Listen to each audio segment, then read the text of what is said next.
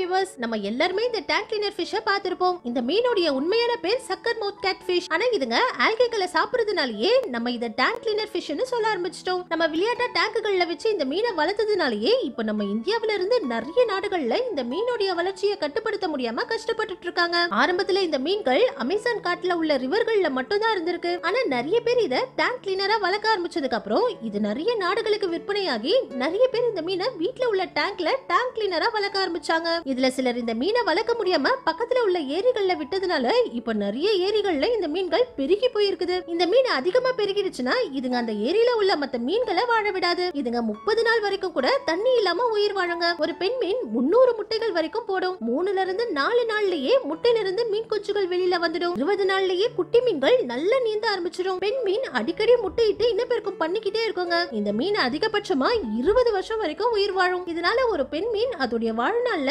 லட்சக்கணக்கான முட்டைகளை போடும். அந்த முட்டையிலிருந்து வெளியில வர ஒவ்வொரு பெண் மீனும் இதே மாதிரி முட்டைகளா போட்டு இதுங்களை எங்க விட்டாலும் வேகமா பெருகிடுதுங்க. ரொம்ப வருஷங்களா இந்த மீன்கள் எல்லாம் என்ன செய்யறதுன்னே தெரியாம மீனவர்கள் எல்லாரும் ரொம்பவே கஷ்டப்பட்டுட்டு இருந்தாங்க. முக்கியமா மெக்சிகோல உள்ள ரிவர்கள்ல இந்த மீன்கள் லட்சக்கணக்கில் பெருகினதுனால அந்த ரிவர்ல இருந்த மத்த மீன்கள் எல்லாம் இந்த மீன் சாகடிச்சிருச்சு. இதனால அங்க இருந்த மீனவர்கள் வலையில ஃபுல்லா வெறும் இந்த டேங்க் கிளீனர் ஃபிஷ்ஷா தான் மாட்டிக்கிட்டு இருந்திருக்கு. ரொம்ப வருஷங்களா இந்த மீன்கள் எல்லாம் என்ன பண்றதுன்னே தெரியாம இங்க உள்ள மீனவர்கள் ரொம்பவே கஷ்டப்பட்டுட்டு இருந்திருக்காங்க. அந்த டைம்ல தான் மெக்சிகோவுக்கு போன மைக் மிச்சல்ங்கிற இவர் ரெண்டாயிரத்தி பதினாறுல அக்கரி ஃப்ரீ ஃபுட்ங்கிற ஒரு முயற்சியை கையில எடுத்து இந்த மீன்ல இருந்து ஃபிஷ் ஜர்க்கிகளை செஞ்சு விற்க ஆரம்பிச்சிருக்காரு. இந்த மீனை ஃப்ரைடு சிக்கன் மாதிரி எல்லாம் குக் பண்ணி மக்களை இந்த மீனை சாப்பிட வைக்க முயற்சி பண்ணிருக்காரு. ஆனா யாருக்குமே இந்த மீனுடைய டேஸ்ட் பிடிக்கவே இல்லையா? இவருடைய முதல் முயற்சி ஃபெயிலியர் ஆனதுக்கு அப்புறம் இந்த மீன்கள் எல்லாம் என்ன பண்ணலாம்னு யோசிச்ச இவரு இந்த மீனுடைய சதைகளை ட்ரை பண்ணி நல்லா ரோஸ்ட் பண்ணி நாய்களுக்கு சாப்பிட கொடுத்து டெஸ்ட் பண்ணிருக்காரு. நாய்களும் இந்த மீனை ரொம்பவும் விரும்பி சாப்பிட்டதுனால பெசிங்கிற ஒரு கம்பெனி ஆரம்பிச்சு இந்த மீன்களை